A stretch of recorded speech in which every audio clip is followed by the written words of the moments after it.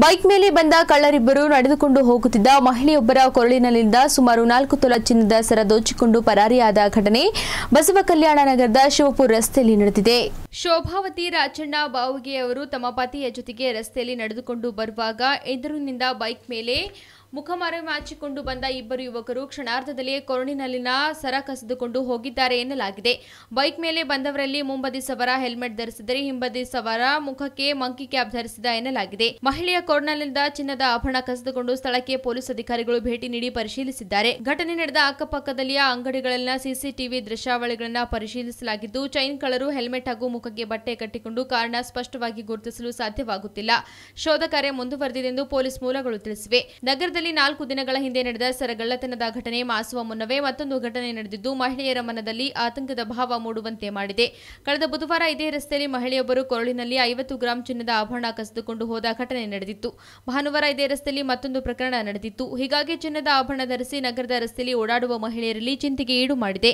Police ಇಲಾಖೆಯಿಂದ ಆದಷ್ಟು ಶೀಘ್ರದಲ್ಲಿ ಕಳ್ಳರನ್ನ ಪತ್ತೆ ಹಚ್ಚಿ ಬಂಧಿಸುವ ಮೂಲಕ ಮಹಿಳೆಯರ ಮನದಲ್ಲಿ ಮನೆ ಮಾಡಿರುವ ಆತಂಕದ ಭಾವನೆ ದೂರ ಮಾಡಬೇಕಿದೆ ಎಂದು ನಗರದ ಸಾರ್ವಜನಿಕರ ಆಗ್ರಹವಾಗಿದೆ.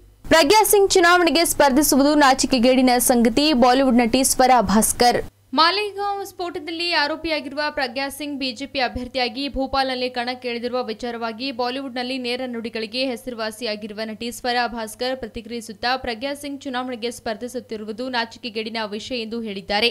ಭೋಪಾಲ್ನಲ್ಲಿ ಪ್ರಜ್ಞಾ ಸಿಂಗ್ ಬಿಜೆಪಿ ಅಭ್ಯರ್ಥಿಯಾಗಿ ಸ್ಪರ್ಧಿಸುತ್ತಿರುವ ಬಗ್ಗೆ ಸ್ವರ ಭಾಸ್ಕರ್ ಮಾತನಾಡುತ್ತಾ, ನಾನು ಈಗಾಗಲೇ ಆಕೆ ಸ್ಪರ್ಧೆ ಬಗ್ಗೆ ಸ್ಪಷ್ಟವಾಗಿ ಹೇಳಿದ್ದೇನೆ. ಆಕೆ ಸ್ಪರ್ಧೆ ನಾಚಿಕೆಗೇಡಿನ ಸಂಗತಿ. ಒಂದು ವೇಳೆ ನೀವು ಭೋಪಾಲ್ನಲ್ಲಿ ಯಾರು ಉತ್ತಮ ಅಭ್ಯರ್ಥಿ ಎಂದು ಕೇಳಿದರೆ ಅದು ನಿಶ್ಚಿತವಾಗಿ ದಿಗ್ವಿಜಯ್ ಸಿಂಗ್ ಎಂದರು. ಪ್ರಜ್ಞಾ ಹಿಂದೂ ಎಂದು ಹೇಳಿಕೊಂಡರೆ ಆಕೆ ಭಯೋತ್ಪಾದನೆ ಆರೋಪವನ್ನ ಹೊತ್ತಿದ್ದಾಳೆ ಆದ್ದರಿಂದ ಆಕೆ ಹಿಂದೂ ಭಯೋತ್ಪಾದನೆ ಆರೋಪ ಎಂದು ತಿಳಿಸಿದ್ದರು ಜನರು ಇಸ್ಲಾಮಿಕ್ ಭಯೋತ್ಪಾದನೆ ಬಗ್ಗೆ ಮಾತನಾಡುತ್ತಾರೆ ಅವರು ರೀತಿ ಭಾಷೆ ಬಳಸುತ್ತಾರೆ ಹಾಗೆ ಹಿಂದೂ ಭಯೋತ್ಪಾದನೆಯನ್ನ ಸಹ ಬಳಸಬೇಕು ನೀವು ನನ್ನನ್ನ ಕೇಳಿದ್ರೆ ಹಿಂಸೆ ಅಪರಾಧ ಭಯೋತ್ಪಾದನೆ ಪಾಪದ ಸಂಗತಿಗಳು ಅವು ಯಾವ ಧರ್ಮಗಳ ಜನರಿಂದಲೂ ಸಂಭವಿಸಬಹುದು ಇದನ್ನ ಹಿಂದೂ ಮುಸ್ಲಿಂ ಕ್ರಿಶ್ಚಿಯನ್ ಬೌದ್ಧ ಯಹೂದಿ ಎಲ್ಲರೂ ಈ ಹಿಂದೆ ಮಾಡಿದ್ದಾರೆ ಎಂದು ನಟಿ ಹೇಳಿದರು ठाकुर अगर अपने आप को हिंदू मान रही हैं और वो- वो आतंकवाद की आरोपी हैं तो हाँ फिर वो एक हिंदू आतंकवाद आरोपी हैं आइसिस ನಿಜವಾದ ಪ್ರೀತಿ ಇದ್ದಾಗ ಅದಕ್ಕೆ ಯಾವುದೇ ಆಸ್ತಿ ಅಂತಸ್ತು ಸ್ಥಾನಮಾನ ಕೂಡ ಮುಖ್ಯವಾಗುವುದಿಲ್ಲ ಈಗ ಅಂತಹ ಒಂದು ಪ್ರೇಮ ಕಹಾನಿ ಪ್ರಧಾನಿ ಮಂತ್ರಿ ಲೈಫ್ನಲ್ಲಿಯೂ ನಡೆಯಬಹುದೆಂದರೆ ನಿಜಕ್ಕೂ ಅಚ್ಚರಿಯ ಸಂಗತಿಯಲ್ಲವೇ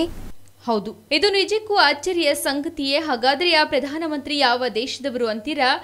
ನ್ಯೂಜಿಲೆಂಡ್ ಪ್ರಧಾನಮಂತ್ರಿ ಜಾಕಿಂಡಾ ಆರ್ಡೆನ್ಸ್ ಈಸ್ಟರ್ ರಜಾದಿನದ ಸಂದರ್ಭದಲ್ಲಿ ಅವರ ದೀರ್ಘಾವಧಿಯ ಸ್ನೇಹಿತ, ಏಕಾಏಕಿ ಪ್ರಧಾನಮಂತ್ರಿಗೆ ಮದುವೆ ಪ್ರಸ್ತಾಪವನ್ನ ಇಟ್ಟಿದ್ದಾನೆ. ಈ ಪ್ರಸ್ತಾಪದ ಬಗ್ಗೆ ಪ್ರತಿಕ್ರಿಯಿಸಿದ ಜಾಕಿಂಡಾ, ಈ ಪ್ರಶ್ನೆ ತಮಗೆ ಅಚ್ಚರಿಯನ್ನ ಉಂಟು ಮಾಡಿದೆ ಎಂದು ಹೇಳಿದರು. ನ್ಯೂಜಿಲೆಂಡ್ನ ಹಾಕ್ಸ್ ಬೆಲ್ನಲ್ಲಿ ವಾಯಾ ಪೆನ್ಸ್ಲಾದಲ್ಲಿ ಮೊಹತೋಟಾಟಿ ಬೆಟ್ಟದ ಮೇಲೆ ಈ ಪ್ರಸ್ತಾಪವನ್ನ ಮಾಡಲಾಗಿತ್ತು. ಇದಕ್ಕೆ ಆರ್ಡೆನ್ ತಮಾಷೆ ಮಾಡುತ್ತಾ, ಇದು ತುಂಬಾ ರೊಮ್ಯಾಂಟಿಕ್ ಎಂದು ಹೇಳಿದರು. ಬಾಲಕೋಟ್ ದಾಳಿಯ ಬಗ್ಗೆ ಹೆಚ್ಚು ಗೊತ್ತಿಲ್ಲ ಎಂದು ಬಿಜೆಪಿ ಅಭ್ಯರ್ಥಿ ಸನ್ನಿ ಡಿಯೋಲ್. ಬಾಲಿವುಡ್ ನಟ ಸನ್ನಿ ಡಿಯೋಲ್ ತಮ್ಮ ಸಿನಿಮಾಗಳಲ್ಲಿ ಪಾಕಿಸ್ತಾನದ ವಿರುದ್ಧ ಕಿಡಿಕಾರಿರಬಹುದು. ಆದರೆ ನಿಜ ಜೀವನದಲ್ಲಿ ಮಾತ್ರ ಎಲ್ಲವೂ ಭಿನ್ನ. ಇತರ ರಾಜಕಾರಣಿಗಳು ಪಾಕಿಸ್ತಾನವನ್ನ ಟೀಕಿಸುವ ಅವಕಾಶವನ್ನ ಮಿಸ್ ಮಾಡಿಕೊಳ್ಳದೇ ಇದ್ದರೆ ಬಿಜೆಪಿ ಅಭ್ಯರ್ಥಿ ಸನ್ನಿ ಡಿಯೋಲ್ ಮಾತ್ರ ತಮ್ಮ ಪದಗಳನ್ನು ಎಚ್ಚರಿಕೆಯಿಂದ ಪ್ರಯೋಗಿಸುತ್ತಾರೆ. ಚಲನಚಿತ್ರಗಳ ವಿಚಾರ ಬೇರೆ, ಇದು ಸಿನಿಮಾ ಅಲ್ಲ. ನಿಜ ಜೀವನ. ನನ್ನ ಜೀವನದಲ್ಲಿ ಯಾವತ್ತೂ ಪಾಸಿಟಿವ್ ಪಾತ್ರಗಳನ್ನೇ ಮಾಡಿದ್ದೇನೆ. ನನ್ನ ಭಾವನೆಗಳು ಅವೇ ರೀತಿಯಾಗಿವೆ. ಬಾಲಾಕೋಟ್ ದಾಳಿ ಅಥವಾ ಭಾರತ ಪಾಕ್ ಸಂಬಂಧಗಳ ಬಗ್ಗೆ ನನಗೆ ಹೆಚ್ಚೇನು ಗೊತ್ತಿಲ್ಲ. ಜನರ ಸೇವೆಗಾಗಿ ನಾನಿಲ್ಲಿದ್ದೇನೆ. ನಾನು ಗೆದ್ದರೆ ಪ್ರಾಯಶಃ ಏನಾದರೂ ನಿರ್ದಿಷ್ಟ ಅಭಿಪ್ರಾಯ ತಾಳಬಹುದು, ಸದ್ಯ ಏನೂ ಇಲ್ಲ ಎಂದು ಡಿಯೋಲ್ ಹೇಳಿದರು. ಮೆರವಣಿಗೆಯಲ್ಲಿ ಟಪ್ಪಂಗುಚ್ಚಿ ಸ್ಟೆಪ್ ಹಾಕಿದ ಸಚಿವ ಜಿಟಿ ದೇವೇಗೌಡ. ಬಸವ ಜಯಂತಿಯ ಅಂಗವಾಗಿ ನಗರದ ಶಿವರಾತ್ರಿ ರಾಜೇಂದ್ರ ಸ್ವಾಮಿಗಳ ವೃತ್ತದ ಬಳಿ ಇರುವ ಬಸವೇಶ್ವರ ಪ್ರತಿಮೆಗೆ ಜಿಲ್ಲಾ ಉಸ್ತುವಾರಿ ಸಚಿವ ಜಿಟಿ ದೇವೇಗೌಡ ಇಂದು ಮಾಲಾರ್ಪಣೆ ಮಾಡಿದರು. ಇವರೊಂದಿಗೆ ಶ್ರೀ ಶಿವರಾತ್ರಿ ದೇಶಿಕೇಂದ್ರ ಸ್ವಾಮೀಜಿ, ಶಾಸಕ ನಾಗೇಂದ್ರ ಮತ್ತಿತರರು ಉಪಸ್ಥಿತರಿದ್ದರು. ಆನಂತರ ಆರಂಭಗೊಂಡ ಮೆರವಣಿಗೆಯಲ್ಲಿ ಸಚಿವ ಜಿಟಿ ದೇವೇಗೌಡರು ವಾದ್ಯ ವೃಂದದವರೊಂದಿಗೆ ನೃತ್ಯ ಮಾಡಿ ಎಲ್ಲರ ಗಮನ ಸೆಳೆದರು. ಜಿಟಿ ದೇವೇಗೌಡ ಅವರು ದಸರಾ ಉದ್ಘಾಟನಾ ಸಂದರ್ಭದಲ್ಲಿ ನೃತ್ಯ ಹಾಗೂ ಕ್ರೀಡಾಕೂಟದಲ್ಲಿ ಓಡುವ ಮೂಲಕ ಚಾಲನೆ ನೀಡಿದರು. ಅಲ್ಲದೆ ವಿಶೇಷ ಕಾರ್ಯಕ್ರಮಗಳ ಸಂದರ್ಭದಲ್ಲಿ ನರ್ತಿಸಿ ಎಲ್ಲರ ಗಮನ ಸೆಳೆದರು. ಈ ವೇಳೆ ಮಾತನಾಡಿದ ಅವರು, ನಾಡಿನ ಬಸವೇಶ್ವರರ ಕೊಡುಗೆ ಅಪಾರವಾಗಿದೆ. ಪ್ರತಿಯೊಬ್ಬರೂ ಅವರ ತತ್ವ, ಆದರ್ಶ ಪಾಲಿಸಬೇಕೆಂದು ಕರೆ ನೀಡಿದರು. ಬಸವ ಜಯಂತಿ ಅಂಗವಾಗಿ ಜನತೆಗೆ ಶುಭ ಕೋರಿದರು.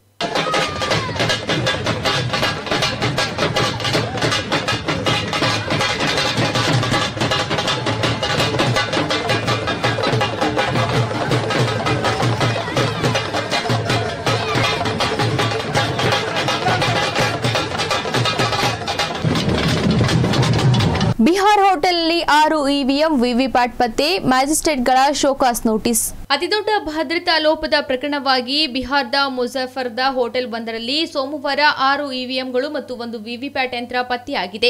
ಮುಜಫರ್ಪುರದ ಎಸ್ಡಿಒ ಕುಂದನ್ ಕುಮಾರ್ ಅವರು ಈ ಇವಿಎಂ ಮತ್ತು ವಿವಿಪ್ಯಾಟ್ ಯಂತ್ರಗಳನ್ನು ತಮ್ಮ ವಶಕ್ಕೆ ತೆಗೆದುಕೊಂಡಿದ್ದಾರೆ.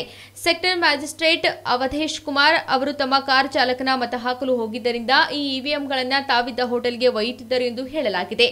ಹೋಟೆಲ್ನಲ್ಲಿ ಇವಿಎಂ ವಶಪಡಿಸಿಕೊಳ್ಳಲಾಗುವುದನ್ನು ಅನುಸರಿಸಿದ ಸ್ಥಳೀಯ ಜನರು ಹೋಟೆಲ್ ಮುಂದೆ ಘೇರಾವಿಸಿ ಮ್ಯಾಜಿಸ್ಟ್ರೇಟ್ ವಿರುದ್ಧ ಪ್ರತಿಭಟನೆ ನಡೆಸಿದರು बाग क्षेत्र जो है मुजफ्फरपुर के सेक्टर ऑफिसर नंबर ग्यारह थे अवधेश सिंह जो एग्रीकल्चर कोऑर्डिनेटर भी हैं उनके साथ रिजर्व ईवीएम जो अनपोल्ड ईवीएम्स थे जो उनको उपलब्ध कराया गया था ताकि यदि कहीं पे भी मुजफ्फरपुर संसदीय क्षेत्र में मुजफ्फरपुर एसी में कहीं पे यदि मशीन खराब होती है तो उसको रिप्लेस कर सकें उनके पास जो उपलब्ध ईवीएम और वीवीपैट्स थे, उसमें रिप्लेस करने के बाद उनके पास दो बैलेटिंग यूनिट एक कंट्रोल यूनिट और दो वीवीपैट थे उपलब्ध, जो उनकी गाड़ी में थे और, जैसा कि उन्होंने बताया, अभी हमने इससे कारण परीक्षा की है और उनका उत्तर आने के उपरांत ही हम उसके बारे में विस्तृत रूप से बता पाएँगे, लेकिन जो अभी तक हम लोग के पास फीडबैक उपलब्ध है, जो जानकारी है उसके मुताबिक ಪ್ರಸವ ಪೂರ್ವ ಜನನದಿಂದಾಗಿ ಹೃದಯ ವೈಪರೀತ್ಯಗಳಿಂದ ಬಳಲುತ್ತಿರುವ ಜನರು ಯುವಕರು ಪ್ರೌಢಾವಸ್ಥೆಯಲ್ಲಿನ ವ್ಯಾಯಾಮ ಹಾನಿಯನ್ನ ಸರಿಪಡಿಸಬಹುದಾಗಿದೆ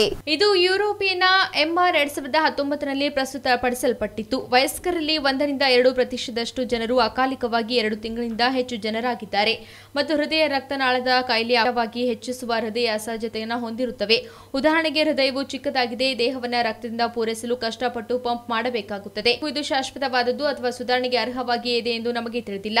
ಈಗ ಮೊದಲು ಬಾರಿಗೆ ಪ್ರೀಮಿಯರ್ ಹಾರ್ಟ್ಸ್ ಫಂಕ್ಷನ್ ಮತ್ತು ಅವರ ಗೆಳೆಯರನ್ನ ಹೇಗೆ ಮಾಡಬೇಕೆಂದು ನಾವು ತೋರಿಸಿದ್ದೇವೆ. ಒಂದು ಔಷಧಿ ಅಗತ್ಯವಿಲ್ಲ. ಕೇವಲ ಹದಿನಾಲ್ಕು ವಾರಗಳ ವ್ಯಾಯಾಮ ಸಹ ಪ್ರಧಾನ ತನಿಖಾಧಿಕಾರಿ ಮಾನಿಕ್ ನೈಟ್ ಹೇಳಿದ್ದಾರೆ.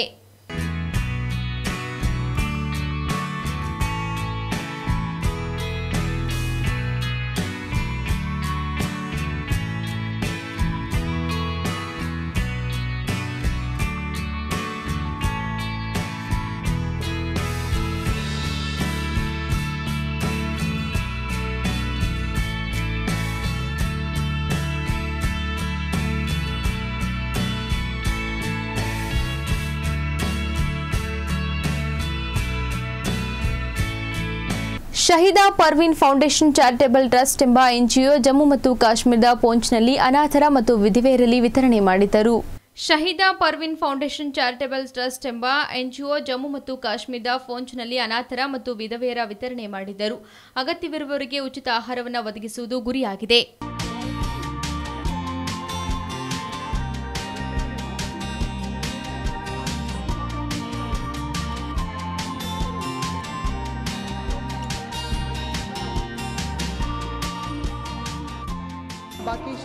ಕಲಬುರಗಿ ಜಿಲ್ಲಾ ಹಿರಿಯ ನಾಗರಿಕರ ಸಂಘದ ಕಚೇರಿಯಲ್ಲಿ ಬಸವೇಶ್ವರ ಜಯಂತಿ ಆಚರಿಸಲಾಯಿತು.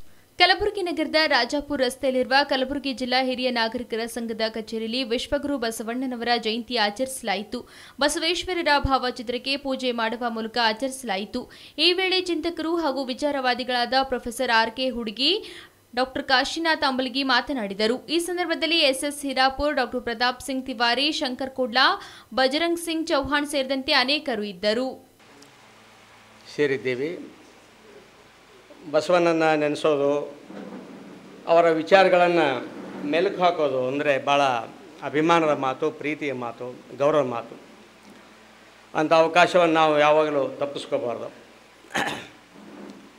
ಮತ್ತೆ ಮತ್ತೆ ಅವರನ್ನು ನೆನೆಸೋದಂದರೆ ಮಾನವೀಯತೆಯನ್ನು, ಸಮಾನತೆಯನ್ನು, ಪ್ರೀತಿಯನ್ನು, ಪ್ರೇಮವನ್ನು ಮತ್ತು ಇತ್ಯಾತ್ಮಕವಾದಂತಹ ಸಮ ಸಮಾಜವನ್ನು ಕಟ್ಟುವ ಕನಸನ್ನು ನೆನೆಸ್ಕೊಂಡಂತೆ. ಅಲ್ಲಂಪ್ರಭುವಿನ ಅಲ್ಲಂ ಪ್ರಭುವಿನ ಒಂದು ವಚನ ಇದೆ. ಅಜ್ಞಾನವೆಂಬ ತೊಟ್ಟಿಲಲ್ಲಿ ಜ್ಞಾನವೆಂಬ ಶಿಶುವ ಮಲಗಿಸಿ, ವೇದಶಾಸ್ತ್ರಗಳೆಂಬ ನೇಣು ಕಟ್ಟಿ, ಭ್ರಾಂತಿ ಎಂಬ ತಾಯಿ ಜೋಗಳವಾಡುತ್ತಿದ್ದಾಳೆ. ತೊಟ್ಟಿಲು ಮುರಿದಲ್ಲದೆ, ನೇಣು ಹರಿದಲ್ಲದೆ, ಜೋಗಳ ನಿಂದಲ್ಲದೆ ಕಾಣಬಾರದು ಗುಹೇಶ್ವರನ. ಇದು ಒಂದು ರೀತಿಯಿಂದ ವಚನ ಚಳವಳಿಯ ಮೆನಿಫೆಸ್ಟೋ ಇದ್ದ ಹಾಗೆ, ಇಡೀ ಆಶಯ ಇದ್ದ ಹಾಗೆ ಅಂತ ಅಂದ್ಕೊಳ್ಬೋದು. ಎಂಟುನೂರು ವರ್ಷಗಳ, ಒಂಬತ್ನೂರು, ಸುಮಾರು ಒಂಬತ್ನೂರು ವರ್ಷಗಳ ಹಿಂದೆ ಏನೆಲ್ಲ ಮಾಡಿದ್ದಾರೆ, ಅದ್ಭುತವಾದಂಥ ಸಾಧನೆ ಮಾಡಿದ್ದಾರೆ, ಅನನ್ಯವಾದಂಥ ಸಾಧನೆ ಮಾಡಿದ್ದಾರೆ, ಆದರೆ ಹಾಗೆ ಮಾಡಿದ್ದಾರೆ ಮಾಡಿದ್ದಾರೆ ಅಂತ ಹೇಳ್ಕೊತಾ ಅಡ್ಡಾಡೋದ್ರಿಂದ ನಮಗೇನಾಗಬೇಕಾಗಿದೆ? ಅದೊಂದು ಬಸವ ಬಿಸ್ನೆಸ್ ಆಗಿಬಿಡ್ತದೆ. ಬಸವ ಟ್ರೇಡಿಂಗ್ ಕಂಪನಿ ಆಗಿಬಿಡ್ತದೆ. ಬಸವಣ್ಣನ ಹೆಸರಿನಾಗೆ ಒಂದಿಷ್ಟು ಲೀಡ್ರ್ ಆಗೋದು, ಅಥವಾ ಬಸವಣ್ಣನ ಹೆಸರಿನಾಗೆ ಒಂದಿಷ್ಟು ದುಡ್ಡು ಕಲೆಕ್ಟ್ ಮಾಡೋದು, ಬಸವಣ್ಣನ ಹೆಸರಿನಾಗೆ ಮನೆ ತುಂಬ್ಕೊಳ್ಳೋದು, ಬಸವಣ್ಣನ ಹೆಸರಿನಾಗೆ ಧಾರ್ಮಿಕ, ಸಾಮಾಜಿಕ ನೇತಾರರಾಗಿ ಮೆರೆಯೋದು ಮಾತ್ರ ಆಗ್ತದೆ. Unless we make it a point to find relevance ಆ ತತ್ವ, ಆ ವಿಚಾರಧಾರೆ, ಆ ಆಂದೋಲನ ಆ ಕ್ರಾಂತಿ, ಆ ವಿಕ್ರಾಂತ ದೃಷ್ಟಿಯ ಜನ ಇದ್ದರಲ್ಲ ಅವ್ರ ಬದುಕಿನ ಆಗು ಹೋಗು ಇವೆಲ್ಲವನ್ನು ಮತ್ತೊಂದು ಸಲ ವಿಶ್ಲೇಷಣೆ ಮಾಡಿ ನೋಡ್ಕೊಳ್ಳೋದ್ರ ಮೂಲಕ ನನಗೇನು ರೆಲವನ್ಸ್ ಅಂತ? ಶ್ರೀ ಛತ್ರಪತಿ ಶಿವಾಜಿ ಮಹಾರಾಜ ಜೀವನ ಚರಿತ್ರೆ ಮೇಲೆ ಜಾಗೃತಿ ಮಹಿಳಾ ಮತ್ತು ತರುಣ ಮಂಡಳದವರು ನಾಟಕ ಪ್ರದರ್ಶನ ಮಾಡಿದರು. ಈ ಮಂಡಳಿ ಪ್ರತಿ ವರ್ಷ ಏನಾದರೂ ಹೊಸ ರೀತಿಯ ಕಾರ್ಯಕ್ರಮಗಳನ್ನು ಹಮ್ಮಿಕೊಂಡು ಸಾರ್ವಜನಿಕರಿಗೆ ಜಾಗೃತಿ ಮೂಡಿಸುತ್ತಾರೆ. ಅಲ್ಲದೆ ಶಿವಾಜಿ ಜಯಂತಿ ನಿಮಿತ್ತವಾಗಿ ರಕ್ತದಾನ ಹಾಗೂ ಒಬ್ಬರಿಗೆ ಹಾರ್ಟ್ ಆಪರೇಷನ್ ಮಾಡಲು ಧನಸಹಾಯ ಮಾಡಿದ್ದಾರೆ. ಮತ್ತು ಸುಮಾರು ಈ ಮಂಡಳಿಯನ್ನು ಸ್ಥಾಪಿಸಿ ಇಪ್ಪತ್ತೆರಡು ವರ್ಷ ಪೂರ್ತಿಯಾಗಿದ್ದು, ಇದೇ ರೀತಿ ಪ್ರತಿ ವರ್ಷವೂ ಹಲವಾರು ಸಾಮಾಜಿಕ, ಸಾಂಸ್ಕೃತಿಕ ಕಾರ್ಯಕ್ರಮ ಮುಂದುವರಿಸಿಕೊಂಡು ಹೋಗುತ್ತಿದ್ದೇವೆಂದು ಮಹಿಳಾ ಸದಸ್ಯರು ತಿಳಿಸಿದರು. ಈ ಕಾರ್ಯಕ್ರಮದಲ್ಲಿ ವಿಜಯ್ ಟವಳೆ ನಿರಂಜನ್ ರಾಜೇಂದ್ರ ಪಾಟೀಲ್ ಸೇರಿದಂತೆ ಅನೇಕರು ಇದ್ದರು इथल्या रयतेला वेठ बिगारी लावून छळला तू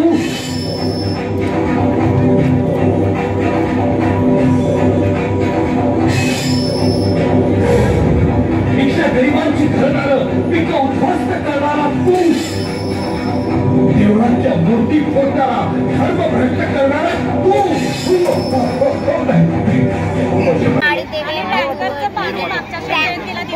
ನಾವೇನ್ ಮಾಡಿದ್ವಿ ಹೋದ ವರ್ಷ ಏನ್ ಮಾಡಿದ್ದೀವಿ? ಶಿವ ಇದೆ ಏನ್ ರೊಕ್ಕ ಇರ್ತಿರಲಿಲ್ಲ ಆದ ದುಷ್ಕಾಳ ಬಂದಿದ್ದರಿಂದ ನೀರ ಕಡಿಮೆ ಇತ್ತು. ಹಾಗಾಗಿ ನಾವು ಮೂರ್ ಟ್ಯಾಂಕರ್ ನೀರ್ ಹೊರಗಡೆ ದೇಶಕ್ಕೆ ಅಂದ್ರೆ ಔಟ್ಸೈಡಕ್ಕೆ ಕೊಟ್ಟಿದ್ದೇವೆ.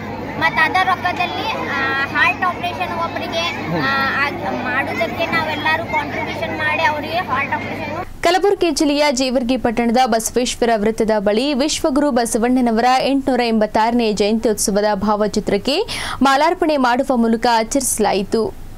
ಇದೇ ಸಂದರ್ಭದಲ್ಲಿ ಶಾಸಕ ಹಾಗೂ ದೆಹಲಿ ವಿಶೇಷ ಪ್ರತಿನಿಧಿಯಾದ ಡಾಕ್ಟರ್ ಅಜಯ್ ಸಿಂಗ್ ಅವರು ಮಾತನಾಡಿ, ವಿಶ್ವಗುರು ಬಸವಣ್ಣನವರ ಹನ್ನೆರಡನೇ ಶತಮಾನದಲ್ಲಿ ಪ್ರಜಾಪ್ರಭುತ್ವವನ್ನ ತಂದವರು. ಗಂಡು, ಹೆಣ್ಣು, ಜಾತಿ, ಧರ್ಮ, ಭೇದ ಭಾವ ಮಾಡದೆ ಅನೇಕತೆಯಲ್ಲಿ ಏಕತೆ ಮೂಡಿಸಿದವರು ಎಂದು ಬಸವಣ್ಣನವರ ಬಗ್ಗೆ ಹೇಳಿದರು. ಈ ಸಂದರ್ಭದಲ್ಲಿ ಸಮಾಜದ ಮುಖಂಡರು ಬಸವೇಶ್ವರ ವೃತ್ತದಲ್ಲಿ ಅಶ್ವಾರೂಢ ಬಸವೇಶ್ವರ ಮೂರ್ತಿಯನ್ನು ಸ್ಥಾಪಿಸಲು ಶಾಸಕರಲ್ಲಿ ವಿನಂತಿಸಿದರು. ನಂತರ ವಿಧಾನಸೌಧ ಕಚೇರಿಗೆ ತೆರಳಿ ತಾಲೂಕು ಆಡಳಿತದ ವತಿಯಿಂದ ತಹಸೀಲ್ದಾರ್ ಸಿದ್ದರಾಯ ಬೋಸ್ಗೆ ಅವರು ಬಸವಣ್ಣನವರ ಭಾವಚಿತ್ರಕ್ಕೆ ಪೂಜೆ ಸಲ್ಲಿಸುವ ಮೂಲಕ ಜಯಂತಿಯನ್ನ ಆಚರಿಸಿದರು. ಇದಾಗಿತ್ತು ಇವತ್ತಿನ ನ್ಯೂಸ್ ಹೀಗೆ ನೋಡ್ತಾ ಇರಿ.